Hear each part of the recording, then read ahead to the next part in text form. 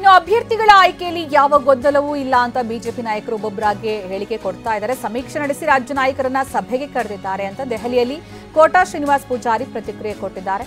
ಇನ್ನು ಅಭ್ಯರ್ಥಿಗಳ ಆಯ್ಕೆ ಸಂದರ್ಭ ಅತ್ಯುತ್ತಮ ಅಭ್ಯರ್ಥಿಗಳನ್ನೇ ಆಯ್ಕೆ ಮಾಡಲಿದ್ದಾರೆ. ಇದು ಅವರ ಮಾತು.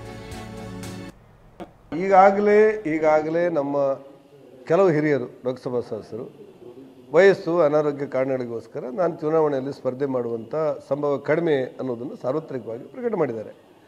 ಆ ಹಿನ್ನೆಲೆಯಲ್ಲಿ ಅಭ್ಯರ್ಥಿಗಳು ಯಾರು ಅನ್ನೋದ್ರ ಬಗ್ಗೆ ಯೋಚನೆ ಮಾಡಲಾಗುತ್ತೆ.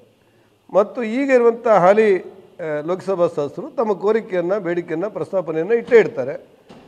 ರಾಜ್ಯದಲ್ಲಿ ಕೆಲವು ಸಣ್ಣ ಪುಟ್ಟ ಸಮಸ್ಯೆಗಳು ಬಂದರೆ ಯಾರನ್ನು ನೆಲೆಸಬೇಕು, ಯಾರು ಅಭ್ಯರ್ಥಿ ಆಗಬೇಕು ಅನ್ನೋದನ್ನು ಹಾಲಿ ಇರುವಂಥ ಲೋಕಸಭಾ ಸದಸ್ಯರನ್ನು ಒಳಗೊಂಡಂತೆ ಒಂದು ತೀರ್ಮಾನವನ್ನು ತಗೊಳ್ತಾರೆ. ಸಾಮಾನ್ಯವಾಗಿ ಪ್ರಕಟ ಆಗುವವರೆಗೆ ಒಂದಿಷ್ಟು ಸಣ್ಣ ಪುಟ್ಟ ಸಮಸ್ಯೆಗಳಿರುತ್ತೆ ಪ್ರಕಟ ಆದ ನಂತರ